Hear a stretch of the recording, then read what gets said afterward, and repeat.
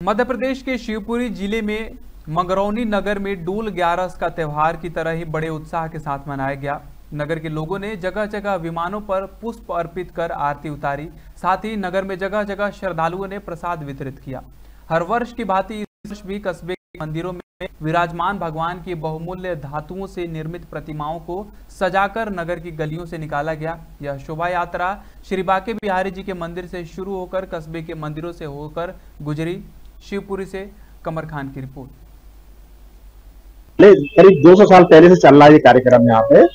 और अब जो बढ़ते बढ़ते अब पहले बारह मेहमान निकलते थे, अब हो गए तेरह तेरह के बाद चौदह विमान हो गए और ये एनुअली फ़ंक्शन होता है, बहुत बेहतरीन क्लास का रहता है, बहुत अच्छा। इसमें पूरे आसपास के लोग, सब लोग एकत्रित होते हैं। हाँ अलग अलग मंदिरों से हैं।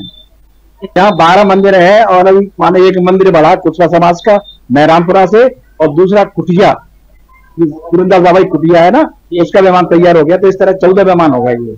आज मगरौनी में जो फूलडोल ग्यारस का महोत्सव का समारोह जो चल रहा है, ये काफ़ी प्राचीन है, और ये एक धार्मिक नगरी रही है। यहाँ फूलडोल उत्सव का जो कार्यक्रम है, वो ज़िले में सबसे ज़्यादा उत्साह से मनाया जाता है। पहले यहाँ पर ग्राम पंचायत हुआ करती थी अब नगर पंचायत है।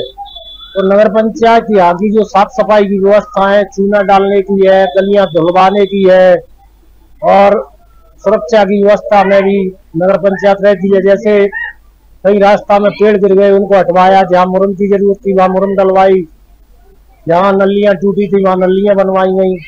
ये परंपरा हमने तो सुना है कि लगभग 200 साल से ये परंपरा चली आ रही है।